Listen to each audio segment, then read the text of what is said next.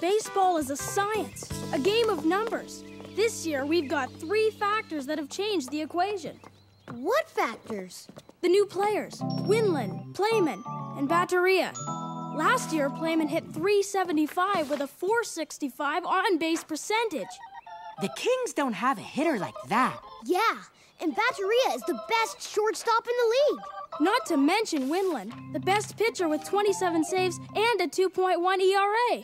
Nobody can outpitch him. I've done a data comparison of the Kings and the Grebes and mapped it all onto this simple grid. The outcome is clear. Our team simply can't be beat. Watch Arthur weekdays on your PBS Kids station or anytime on the PBS Kids video app.